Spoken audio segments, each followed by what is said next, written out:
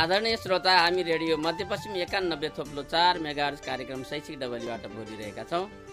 प्राविधिक राजकुमार चौधरी र यो सञ्चालक पद्मप्रसाद शर्माको तर्फबाट हाम्रा सम्पूर्ण शिक्षा प्रेमी श्रोतामा हार्दिक अभिवादन। श्रोता आज हामीले यहाँहरूको माझमा समसामयिक विषयवस्तु पस्कनेछौँ। समसामयिक विषयवस्तुका निम्ति आज एकजना अतिथिलाई हामीले निम्तो दिएका छौँ। दाङमा असाध्यै धेरैजनाले चिन्न सक्ने दाङको माटोमा धेरै समय लडीबुडी गरिसक्नु भएको सबैले गुरु भनेर सम्बोधन गर्ने नारायण प्रसाद शर्मा अर्थात् नारायण गुरु। आज हामीले नारायण गुरुसँग उहाँले जति समय शिक्षण पेसामा व्यतीत गर्नुभयो त्यो समयको शिक्षाको अवस्थाको कुरा उहाँबाट लिनेछौँ। त्यो बेलाको शिक्षाको अवस्था र अहिलेको अवस्थालाई अलिकति तुलना गर्ने जमर्को गर्नेछौँ हामीले। र नारायण प्रसाद शर्मा विभिन्न क्षेत्रमा विभिन्न किसिमबाट काम गर्दै समाज परिवर्तनको निम्ति लाग्दै आउनु भएको व्यक्तित्व हुनुहुन्छ। चाहे पत्रकारिताको कुरा गरौँ चाहे साहित्यको कुरा गरौँ चाहे शिक्षाको कुरा गरौँ समाजसेवाको कुरा गरौँ विभिन्न कोणबाट उहाँ अगाडि बढ्दै आउनु भएको छ। वर्षको कुरा गर्दाखेरि अरे नारायण प्रसाद शर्मा यति वर्षको भएर पनि अझै क्रियाशील हुनुहुन्छ। यो धेरैले उठाउने प्रश्न हो निश्चित रूपमा हो। नारायण प्रसाद शर्मा क्रियाशील हुनुहुन्छ। क्रियाशील हुनुहुन्छ केही गरिराख्नु भएको छ केही गरिराख्नु भएको छ र क्रियाशील हुनुहुन्छ। मैले योभन्दा लामो कुरा अब उहाँबाटै लिनेछु। गुरुजी म कार्यक्रम शैक्षिक डबलीमा यहाँलाई हार्दिक स्वागत गर्न चाहन्छु। हार्दिक स्वागत छ। मेरो पनि तपाईँलाई हार्दिक स्वागत र धन्यवाद। आज धेरै वर्षपछि तपाईँसित यसरी कुरा गर्ने समय जुरेको छ। मैले मेरो घरको व्यक्तिगत भेटघाटको कार्यक्रमलाई समेत पन्छाएर मैले उहाँले खबर गरे गरेपछि मैले पुरानो साथीलाई आज फेरि सम्झना स्वरूप भेट्ने उहाँसित कुरा गर्ने अवसर पाएँ भनेर यो दौडेको हुँ। त्यस कारणले उहाँलाई पनि मेरो एकदम हार्दिक अभिवादन अभिनन्दन छ र सबै श्रोताहरूलाई पनि मेरो हार्दिक अभिवादन अभिनन्दन स्वागत। गुरुजी कति सालमा जन्मिनु भयो कहाँ जन्मिनु भयो यहाँबाट सुरु गरौँ ठिकै छ अब हामीसँग समय बडो अट्कलिएको हुन्छ। त्यस कारणले सर्टकटमा धेरै हाम्रा अनुभव सिद्ध कुराहरू समाजको लागि उपयोग हुन सक्ने जति कुरा हामी राख्न बल गर्नेछौँ। तपाईँले मेरो जन्म मिति सोधिहाल्नुभयो। म विक्रम सम्बत दुई हजार अठासी साल उन्नाइस सय दुई हजार भन्न आयो। उन्नाइस सय अठासी सालमा जन्मेको हुँ। अब अहिले एकहत्तर लाग्यो। सालको सम्बतको हिसाबले म चौरासीमा प्रवेश गरेको छु। दिनगन्ती हो भने अझ अलिकति बाँकी होला। हजुर। अनि यो गुरु अब यसैसँग अब हामी जोड्दै जोड्दै जोड्दै एउटा माला बनाउनु पर्ने छ आज हामी दुइटा मिलेर एउटा सिङ्गो माला बनाउने जुन मालाले समाजलाई केही चाहिँ सुशोभित गर्न सकोस्। अब गुरुजीले कति वर्ष शिक्षण पेसामा रहेर बिताउनु भयो अ, अब मैले तपाईँले कति वर्ष भनिहाल्नुभयो म अलिकति हस्तक्षेप गरेर तपाईँले मलाई आज जसरी बोलाउनु बोलाउँछु भन्नुभयो बसेर मैले सोचेँ के उहाँले मलाई के सोध्नु होला मैले के जवाब दिने होला। अब मैले जवाब दिँदाखेरि धेरै शास्त्रको कुरा गरेर धेरै दुनियाँभरिको मात्रै कुरा गरेर मैले समाजलाई के पो अब दिन सक्ने हो र त्यस मेरो अनुभवले खारिएका कुराहरू मेरो अनुभवका जाने खारिएका जाने जीवनहरू त्यसबारेमा अलिकति चाखलाग्दो कुरा बाँकी कतै छ भने त्यो जाओस्। भन्ने दृष्टिकोणले सोच्दै सोच्दै मैले त एउटा गद गद्यात्मक शैलीमा आठ दस लाइनको एउटा कविता बनाइहालेको छु हजुर, दिशा- सुनौँ। सूचना गर्दा गर्दै क्या? अरे। त्यो सु- के भन्ने होला भन्ने गर्दा गर्दै म त्यो सुनाउन चाहन्छु सबैलाई। अँध्यारो युगमा जन्म पाएँ अँध्यारो युगमा जन्म पाएँ स्कुल थिएनन् घर घर धाएँ अर्थ नपाई गोविन्द गाएँ संस्कृत शिक्षा बाहुनमुखी परम्परागत शिक्षा पाएँ। बिस पुगेपछि एबिसिडी चालिस पुग्दा एमए नक्कलको नक्कल गर्दा गर्दै जसरी जस- जसरी तसरी धाएँ। अघि जस्तै आँधी जस्तै क्रान्ति आयो सोच पुरानो भत्किन लाग्यो। युगको हावा भित्र पसेको युगको हावा भित्र पसेको निसिदिन लड्दै भिड्दै आएँ। जे जस्तो भयो राम्रै भएको छ जीवन मेरो कञ्चन भएको छ अनुभव जस्तो के छ ज्ञान आँखा खोली जीवन जान। यो यही सेरोफेरोमा कुरा गर्नुपर्छ भन्ने अर्थमा। मैले यो चार आठ दस पङ्क्ति तपाईँलाई सुनाएँ। अब तपाईँका एक एक प्रश्नको म छोटकरीमा जवाब दिन मैले यो शिक्षण पेसामा व्यतीत गर्नुभएको वर्षबाट सुरु गर्न खोजिरहेको दुई। हजार सात सालको क्रान्तिमा बनारसबाटमा परीक्षा दिन मध्यमा परीक्षा दिन गएको म। सात सालको क्रान्तिको लहरको पछि लागेर पछि लागे हौँ म अघि लागे होइन मैले व्रता बुझेर होइन। सबै दगुरेपछि म पनि दगुरे हौँ। त्यस कारण त्यो लहरमा म पनि लहरिएँ। सात सालको क्रान्तिमा बनारसमा पढ्न गएको केटो छोडेर अ, कोइलाबासतिर अथवा दाङतिर आयो। क्रान्तिमा भाग लिनु लिनुपर्छ भन्ने दृष्टिकोणले। त्यो भाग लिन आएको दुई चार दिन चार छ दिन बित्दा बित्दै मलाई त्यहाँको अब त्यो अर्थ अरूले लगाउनु होला म केही भन्न सक्दैन। छ सात दिन कोइलावासमा बस्दाखेरि म मिच्छेँ। मलाई कुनै आकर्षण घट्दै गयो आकर्षण घट्दै गयो। मैले कस्तो पाएँ भन्नुहुन्छ भने यहाँ कुरा त नयाँ नयाँ आएछन् जस्तो जात भातको कुरा आयो गाडे भातले के अरे अछुत जात भन्ने कुरा हट्यो सबै त्यहाँ सबैले जातपात सबै फाले त्यहाँ पुरानो भाषामा भन्छु सबैले जातभात फाले परिवर्तन आयो नारा स्वतन्त्रताका कुरा आए सबै आए। तर त्यो सात दिनभित्र म- कुरा अनुसारको बानी चाल चलन व्यवहार मनन चिन्तन फेरि केही भए जस्तो मानिन फेरि अरू त सबै उस्तै पुरानो चल्या छ। म वाक्क भएँ। र म त्यहाँबाट फर्केर घरै आइहालेँ। घर आएपछि बुबाले मलाई पढ्न गएको मान्छे पैसा मात्रै नाश गर्ने भनेर हप्काउनु स्वाभाविक हो हप्काएँ हप्काएपछि तर हप्काउनुको उपाय केही थिएन। अनि मैले के सोचेँ भनेपछि अ, कोइलाबासमा त कुनै नयाँपन विचारमा व्यवहारमा केही देखिएन दाङमा छ कि त भन्ने कोसिसमा लागेँ म। सरासर अब यी तत्कालीन ठुला ठुला नेताहरू क्रान्तिकारी नेताहरू हामीले पनि सबैले सम्मान गर्ने खालका व्यक्तिहरूसँग भेटघाट गरेँ कुराकानी गरेँ। कुराकानी गरेपछि त्यहाँ अह त्यहाँ पनि मेरो चित्त बुझेन।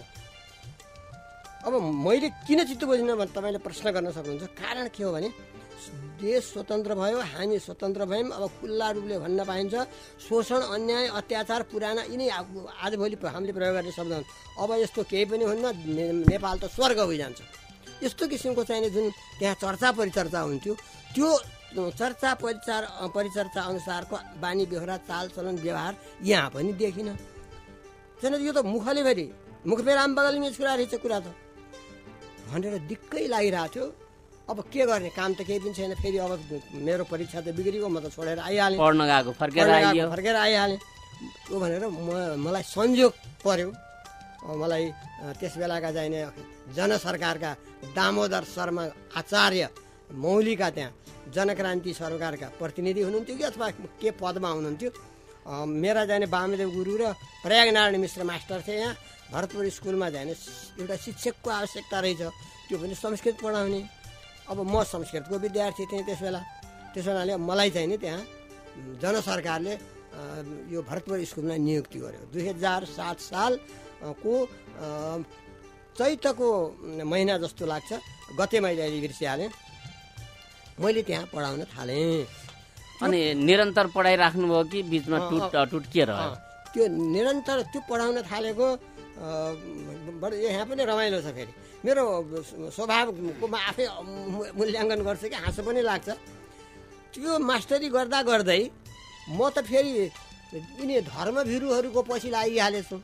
मलाई त म त गाउँले वातावरण एकदम धार्मिक मान्छेहरू धर्मभिरु मान्छेहरू एकदम त्रिपुण्यधारी मान्छेहरू धर्म कर्म सनातन भाग्य कर्म के के हो के के हो यो धार्मिक वातावरणमा पालिएको संस्कारमा बसेको मान्छे त्यहाँ त तैँले जात फालिस कोइलावासमा भनेर हामी जस्ता धेरैलाई आरोप लगाउँदै त्यहाँका पुराना मान्छेहरूले धार्मिक मान्छेहरूले सामन्तहरूले हामीलाई त चाहिने गोदान गर्न लगाएर कपाल फाल्न लगाएर खोलामा लगेर रुद्री गर्न लगाएर चोख्याए।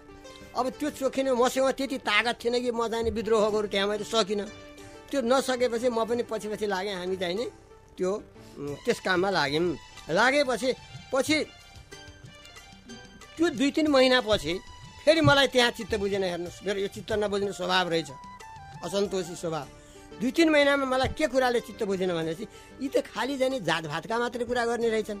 फलानाको जात लिने फलानाको जात नलिने। फलानालाई छोख्याउने फलानालाई नछोख्याउने। यो यतिमा मात्रै सिधै मैले के सम्झाएको थिएँ भनेपछि सात सालको क्रान्तिले लगाएको नारा व्यवहारमा उतार्नको निम्ति यी अहिलेका जाने क्रान्तिकारीहरूले सकेनन्।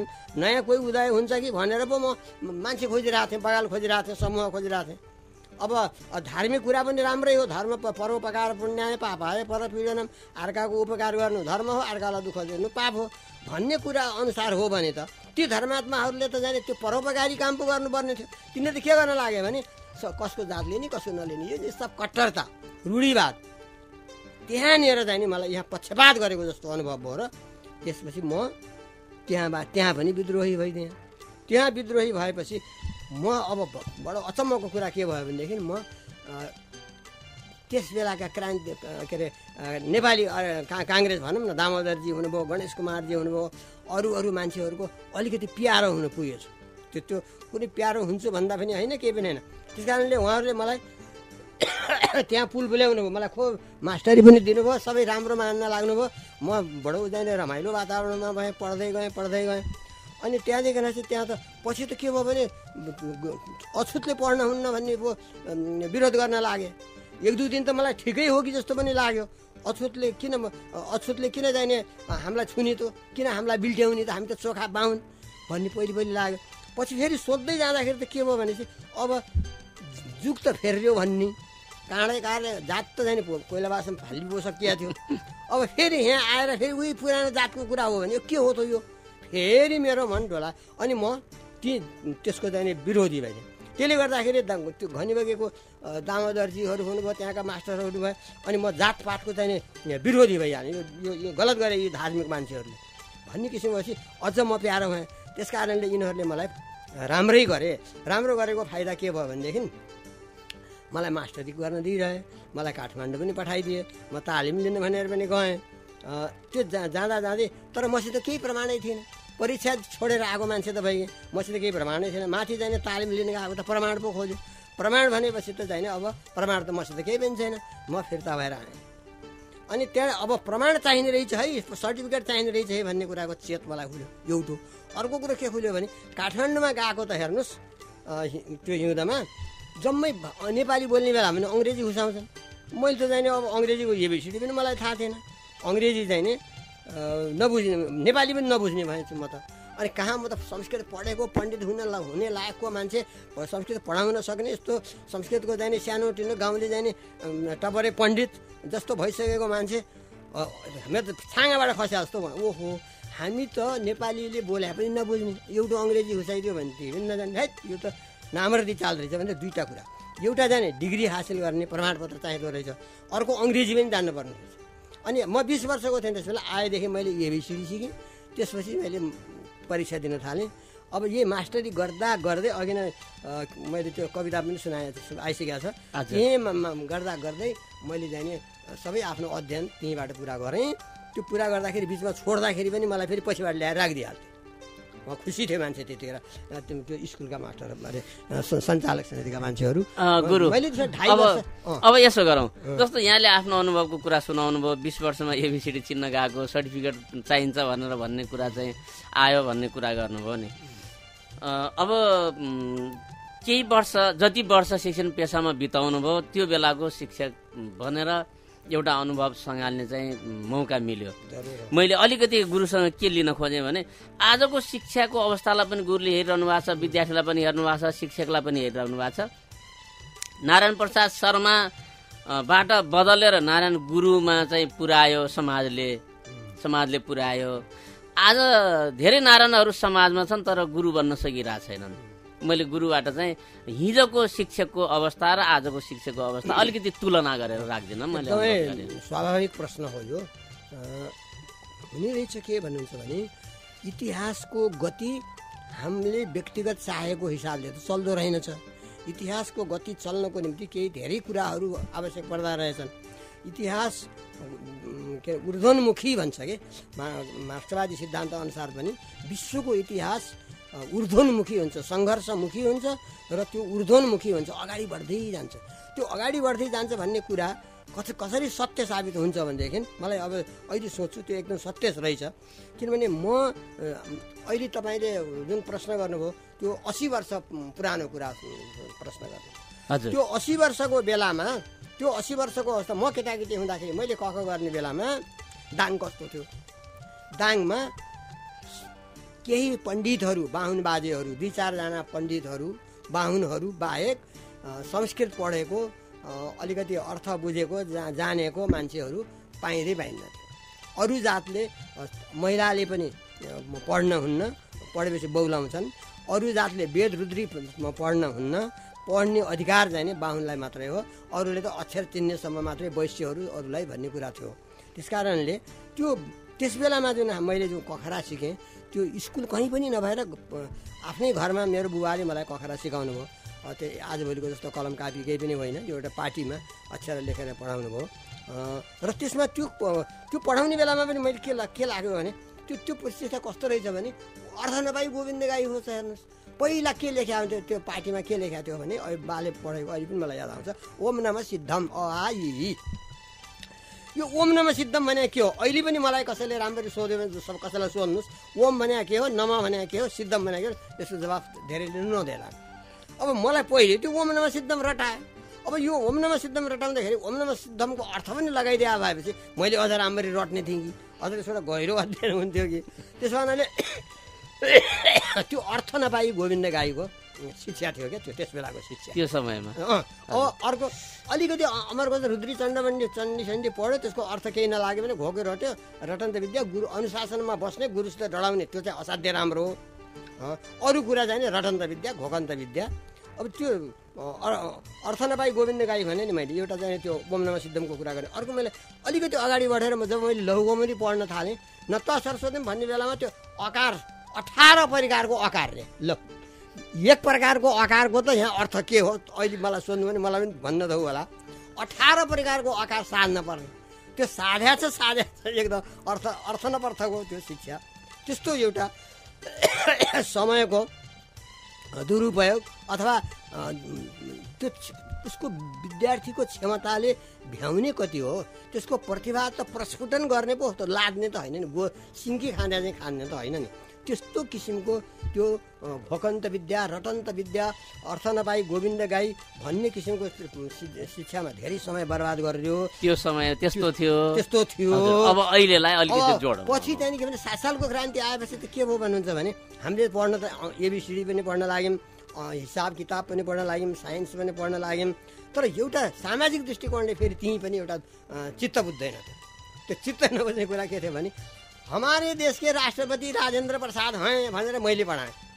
किनभने त्यस बेलामा कि नेपाली किताबै थिएनन्। नेपाली काव्य थिएनन्। हमारे देश के राष्ट्रपति राजेन्द्र प्रसाद हैं अनि महात्मा गान्धीको बयानको अठार के सरदार वल्लभ भाइ पटेल भन्ने के के त्यस्तो गाउने। अब त्यस्तो किसिमको चाहिने एउटा छुट्टै हामी त एउटा सार्वभौम देश हौँ नि। त्यो बेला त मैले बुझिनँ कुरा। तर आज हाँसो लाग्छ। त्यो गर्दा त्यस्तो अवस्था मतलब भन्नुको मतलब के भने हामीले कख नन गराउन खोज्यो भने नयाँ शिक्षा आधुनिक शिक्षा दिन खोज्यो भने हामीसँग आफ्नो पाठ्यक्रमै थिएन आफ्नो पाठ्य पुस्तकै थिएन। यसै अर्काको ल्याएर गर्नु पर्थ्यो तपाईँको यस दस कक्षा पास गर्नको निम्ति बाहिर बनारसतिर जानु पर्थ्यो र त्यो अवस्था थियो धेरै पछि मात्रै यो सुधार हुँदै आयो अलिअलि सुधार हुँदै आयो। अब त्यो गर्दा गर्दै फेरि अलिकति अगाडि बढ्दै गएपछि के पछि अब हाँसो के लाग्न थाल्यो भने हामीले नयाँ आधुनिक शिक्षा त सिकेछौँ कस्तो सिकेछौँ भन्यो भने त्यो चाहिँ अर्काको नक्कल। भारतको नक्कल। भारतको नक्कल मात्रै होइन त्यो त्यो भारतले फेरि कहाँबाट सिक्यो? त्यो अङ्ग्रेजको शिक्षाबाट सिक्यो। मेकालेको भन्छन् नि। त्यो त्यति पर नजाऊँ हामी। अनि अङ्ग्रेजले ल्याएको शिक्षा त्यहाँ भारतले लागू गर्यो। त्यसको नकल गर्यो। त्यसको नकलको नकल हामीले गऱ्यौँ। अहिले हामीले भन्दा भन्दै त्यहाँ हाम्रो देशका राष्ट्रपति राजेन्द्र प्रसाद आदि इत्यादि कुराहरू भयो त्यस कारण साधन स्रोतको अभाव अनि नकलको नकल शिक्षा हामीले केही दिनसम्म पार गऱ्यौँ अझ परिणाम के भयो त भन्दाखेरि हामी पढि पढ्न त पढ्यौँ तर कस्ता भयो भने हाम्रो शिक्षा उत्पादनमुखी के अरे उद्योगमुखी व्यवसायमुखी आत्मनिर्भर यस्तो प्रकारको शिक्षा नभएर कुर्सी हल्लाएर खाने मात्र शिक्षा कलरकी शिक्षा भन्छन्? इन्डियामा चाहिएको थियो अङ्ग्रेजहरूलाई त्यस्तै। हामीलाई त्यस्तै कलरको जस्तो खालि जाने आर्ट मात्रै पढाइदिने प्र्याक्टिकल नलेज हामीलाई केही पनि छैन। यस्तो किसिमको शिक्षा वर्षसम्म चल्यो।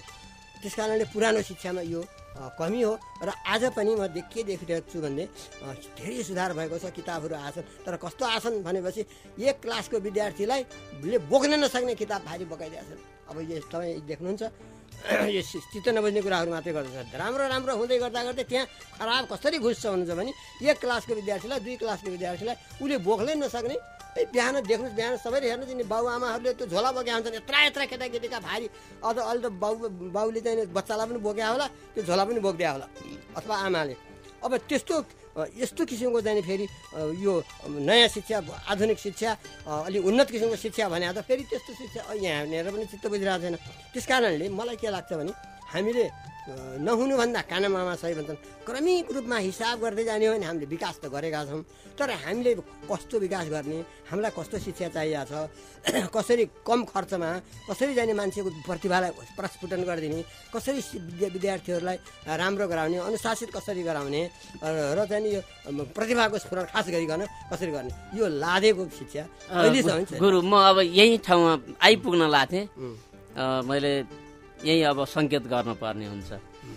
जस्तो हामीले दुईवटा शिक्षा हेऱ्यौँ गुरुले तुलना गरिदिनु भयो। मैले जसरी चाहिँ जिज्ञासा राखेँ गुरुले अध्ययन गर्न सुरु गर्दाखेरिको अवस्था र आजको शिक्षक र शिक्षाको अवस्थाको तुलना भयो। अब मैले गुरुबाट के चाहेको हो भने हामीले जो एउटा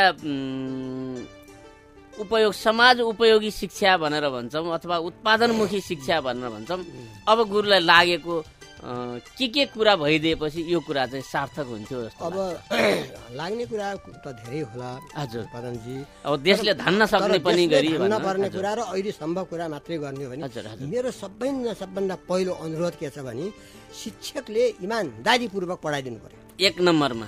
आत्मसमा एकदम समर्पित भावले एकदम राष्ट्रिय भावले देशप्रेमको भावले ओतप्रोत भएर विद्यार्थीलाई चाहिँ उज्जवल भविष्य गराउने भावनाले ओतप्रोत भएर इमान्दारीपूर्वक लगनशील भएर त्यसले अ- राम्ररी पढाइदिनै पर्यो। प्रेमले सहयोग सद्भाव मनोवैज्ञानिक ढङ्गबाट त्यसले अनिवार्य रूपमा राम्ररी पढाइदियोस् एक नम्बरमा। हजुर।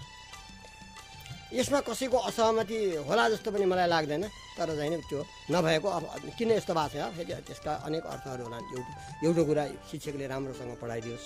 भएको हामीले त्यही पुरानो शिक्षाबाट त दुई चारवटा कुरा गर्ने यति कुरा गर्ने भएको छौँ। त्यसमा हामीले पुरानो शिक्षा सबै खराब भन्ने कुरा त हुन्न नि। त्यो त्यस कारणले त्यसमा कसरी राम्रो सुधार गर्दै जाने भन्ने मात्रै कुरा छ। शिक्षकले राम्रोसँग पढाइदिनु पऱ्यो। अर्को कुरा के भने विद्यार्थीहरूमा पनि त्यो पढ्ने भावना जागृत गर्न पर्यो त्यो गर्नको निम्ति तपसले होइन दण्डले होइन गुरुहरूले पिड्थे म त धेरैचोटि गुरुहरूको पिटाइ खाएको मान्छे हो। त्यो अहिले पिटाइ खाएको कुरा गर्ने भने तपाईँ फेरि हाँस्नुहुन्छ। अचम्म लाग्छ मान्छेहरूलाई। त्यस अब त्यस्तो किसिमले त हुनै सक्दैन। हुनाले विद्यार्थीलाई मनोवैज्ञानिक दृष्टिकोणले दृष्टिकोणले पढ्ने वातावरण दिनु पर्यो। पढ्ने वातावरण दिनु पर्यो। त्यो पढ्ने वातावरण पहिले आमाबाट आउनु पर्यो क्या यो बाउबाट आउनु पर्यो घरका मान्छेहरूबाट आउनु पर्यो गाउँबाट आउनु पर्यो समाजबाट आउनु पर्यो त्यो पढ्ने वातावरण भनेको धेरै कुरा हामी सबैले बुझ्छौँ। त्यस कारणले पढ्ने वातावरण दिनु पर्यो। पढ्ने वातावरण बनाइदिनु पर्यो। त्यो भएपछि विद्या मान्छे भने त कस्तो हो भनेदेखि सफेद कागज जस्तो हो क्या। सफेद कागजमा केही लेखेको छैन। जन्मिने बेलामा तपाईँको रित्ते आउँछ सबै केही पनि हुन्न। त्यो सफेद कागज जस्तै मान्नुहोस् न त्यसलाई। अनि त्यसमा चाहिँ त्यो कागजलाई मान्छेले त्यहाँ त्यहाँ क रङ भर्न लाग्छन् क्या। कालो सेतो पहेँलो रातो आफ्नो आफ्नो ढङ्गको आफ्नो आफ्नो ढङ्गको बनाउने कोही धार्मिक बनाउने कोही वैज्ञानिक बनाउने कोही डाक्टर बनाउने कोही के गर्ने कोही के गर्ने अब त्यस्तो किसिमको। तर के छ भने त्यो त्यो कागजलाई हामीले जबरजस्ती भर दिने होइन। उसको त्यो का त्यो का कागजमा त के छ भने उसको प्रतिभा त्यहीँबाट आफै प्रस्फुटित भएर निस्किएर जाओस्। हामीले जाने एउटा बिरुवालाई जलमल गरे जस्तरी जलमल आदि पानी सबै हो भने बिरुवा आफै हुर्किन्छ। त्यो आफै प्रस्फुटित हुन्छ आफै विकसित भएर आउँछ।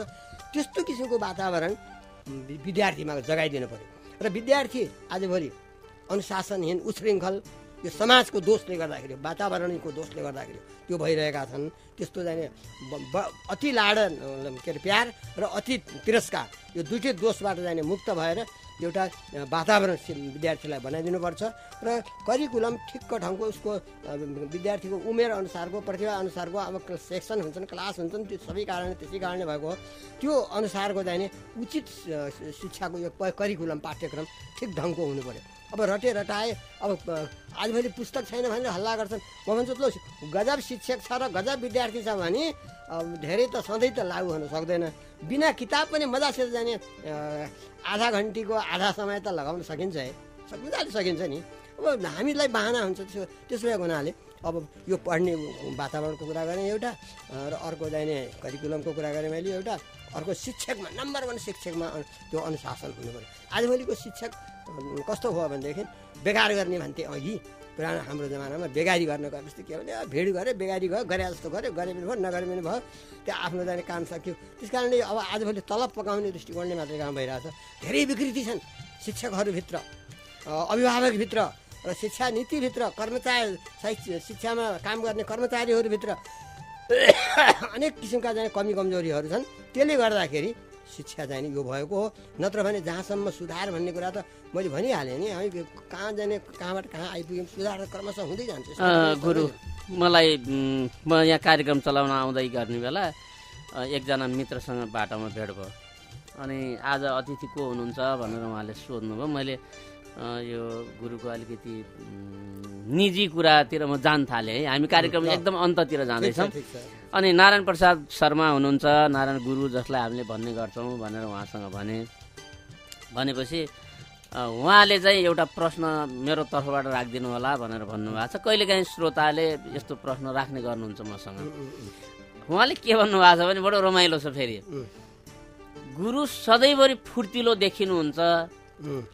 यो फुर्तिलो देखिने यो यो एक दुईवटा कारणहरू छन् है। म यसरी फुर्तिलो देखिरहेको छु मैले यो यो काम गरेको छु यो यो गरेको छैन र म फुर्तिलो छु भनेर भनिदिनु भयो भने यो अलिक- अलिकति समाजमा साठी वर्ष नपुग्दै चाहिँ कुब्री परेका मान्छेहरूले पनि अलिकति ज्ञान पाउँथे कि भनेर भन्नुभएको छ यसलाई अलिकति अगाडि राखिदिन ठिक छ एकदम राम्रो कुरा गर्नुभयो। मैले फेरि एउटा कविताबाट यो। एकदम हजुर। यो मेरो पुरानो कविता हो कि? हजुर। किन मान्छे म- म नारायण प्रसादको कुरा नगर्नुहोस्। भित्र एउटा कविताले त्यसको सबैले अर्थ बुझाएको छ। भित्र बलेको आगोले नै मानिसलाई पोल्ने गर्छ। केवल यस्तै जलन बढेरै मानिस केही न केही गर्छ। भित्र बलेको आगोले नै मानिसलाई पोल्ने गर्छ। केवल यस्तै जलन बढेरै मानिस केही न केही गर्छ। अब मेरो व्यक्तिगत रूपमा भन्दाखेरि मैले मेरो जीवनमा देख्दै सुन्दै वातावरणले मलाई सात सालको क्रान्तिपछि मलाई सामाजिक जीवन सुरु भयो। त्यो वातावरणले मलाई के सिकायो भने हामीले त देश समाज राष्ट्र जनता भनेर यो समग्र चाहिने यो देशलाई जनतालाई राष्ट्रलाई समुन्नत बनाउन पर्ने पो रहेछ। त्यो पुरानो जमानामा त राणाशाही कालमा त राणाहरूले आफ्नो निजी स्वार्थमा मात्रै जे जे गरे विलासी गरे के के गरे अब कोही जिम्दार भयो को पटवारी भयो को मुखिया भयो के भयो खाए पिए। त्यस कारणले यो त नयाँ जुग आएको हुनाले त्यो देश समाज राष्ट्रको निम्ति केही गर्नुपर्छ भन्ने जुन भित्र मलाई त्यो सात सालको क्रान्तिले सात सोह्रको वातावरणले जुन चेतना दियो त्यो चेतनाले गर्दाखेरि नै मलाई अहिलेसम्म ऊर्जा दिइरहेछ। म कहिलेकाहीँ निराश चाहिँ हुन्छु हेर्नुहोस्। यो फेरि म तपाईँलाई ढाँट्न चाहन्न। तर कुन बेला निराश हुन्छु भने म एक्लै भएको बेला निराश हुन्छु। अब कमी कमजोरी मात्रै हेरेँ भने निराश हुन्छु। तर तपाईँहरू जस्तो साथीहरू भेटाएपछि फेरि म अलिकति उत्साहित भइजान्छु। र फेरि कमीको बावजुद जीवनका दुवै पक्ष छन् क्या। तपाईँले तपाईँको शत्रु नै रहेछ भने पनि त्यसको एकछिन एकछिन शत्रुभाव छोडिदिनुहोस्। त्यो स त्यसको सकारात्मक पक्ष के छ? त्यसको गुण के छ? त्यसलाई सोचिदिनुहोस् त। तपाईँको कोही शत्रु छ तर त्यसको गुण त केही त होला नि। गुणै गुणले भरिएको र अवगुणै अवगुणले भरिएको कोही पनि हुन्न गुण अवगुण गुण अवगुण यो त चलिरहन्छ। त्यसो भएको हुनाले अब समाजलाई पनि हामीले नराम्रो हुँदा हुँदै पनि सकारात्मक ढङ्गबाट पनि सोचेर अगाडि बढ्ने प्रयत्न गर्ने र एउटा भित्र केही गर्नुपर्छ भन्ने जलन भित्र मनमा लिएर बस्ने हो भनेपछि सामाजिक जीवनलाई उच्च प्राथमिकता दिने हो भनेपछि उस उत्साह आउँछ जाँगर आउँछ अनि त्यसमा मान्छे बाँच्दासम्म पनि त्यसले केही न केही गरौँ भनेर सोच्छ। क्रियाशील भइरहन्छ यही हो जस्तो लाग्छ। अब मेरो आफ्नो अनुभवमा यही हो अरूको आफ्नो आफ्नो अनुभव हुन्छ। किनभने अब अमेरिकी जीवनको अनुभव छुट्टै होला। त चाइनिजहरूको छुट्टै होला रसियनहरूको छुट्टै होला अमेरिकन इन्डियनहरूको अर्कै होला मेरो आफूले होला अर्काको पदमजीको अर्कै होला त्यो मेरो अनुभवले त्यही भन्छ गुरु हामीलाई निर्धारण गरेको समय एकदम अब सकियो भनेर सङ्केत आइसक्यो प्राविधिक कक्षबाट मैले गुरुलाई निम्तो दिएँ कार्यक्रममा गुरु आइदिनु भयो म रेडियो मध्यपश्चिमकै तर्फबाट मेरो आफ्नो तर्फबाट पनि गुरुप्रति आभार व्यक्त गर्न चाहन्छु। मेरो पनि सबै सबैलाई धन्यवाद छ श्रोताहरूलाई धन्यवाद छ तपाईँलाई पनि धन्यवाद छ एफएमलाई पनि धन्यवाद छ। हो यो एफएमको पनि इतिहास छुट्टै छ त्यो पछि कुनै बेला कुरा गरौँला। सबैलाई धन्यवाद। आदरणीय श्रोता हामी रेडियो मध्यपश्चिम एकानब्बे थोप्लो चार मेगार्ज कार्यक्रम शैक्षिक डबलीबाट बोलिरहेका छौँ। आज हामीले नारायण प्रसाद शर्मा धेरैजनाले नारायण गुरु भनेर चिन्ने नारायण गुरुसँग शिक्षाका बारेमा समसामयिक कुराकानी गऱ्यौँ गुरुले हिजो आफूले कखरा पढ्दाखेरिको अनुभवको कुरा पनि सुनाइदिनु भयो अहिलेको शिक्षा र शिक्षकको अवस्था विद्यार्थीको अवस्था पनि तुलना गरिदिनु भएको छ र समाज उपयोगी शिक्षा वैज्ञानिक शिक्षा र केही उत्पादनमुखी शिक्षा कसरी हुनसक्छ कसरी यसलाई चाहिँ अगाडि लैजान सकिन्छ भनेर भन्ने कुरा पनि उहाँले चिरफार गरेर सुनाइदिनु भएको छ। गुरुसँगका कुरा साँच्ची भन्ने हो भने सकिएनन् भनेर भन्दा पनि हुन्छ। गुरु आजभोलि अक्षरधाममा बस्ने गर्नुहुन्छ। फेरि मैले गुरुलाई निम्तो गर्नेछु। र फेरि अर्को पटक यस्तै गरेर मिठा कुरा रसिला कुरा समाज उपयोगी कुरा हामीले गुरुबाट लिन पर्नेछ लिनेछौँ। यति भन्दै फेरि पनि मैले आदरणीय गुरुप्रति हार्दिक आभार व्यक्त गर्दै यतिन्जेल प्रविधिमा सघाउने प्राविधिक मित्र राजकुमार चौधरीलाई धेरै धेरै धन्यवाद दिँदै कार्यक्रम सुनेर साथ दिनुहुने सम्पूर्ण श्रोतामा आभार बिसाउँदै आजको बसाइबाट यो सञ्चालक पद्मप्रसाद शर्मा विदा चाहन्छ। हवस् त अभिवादन जय शिक्षा।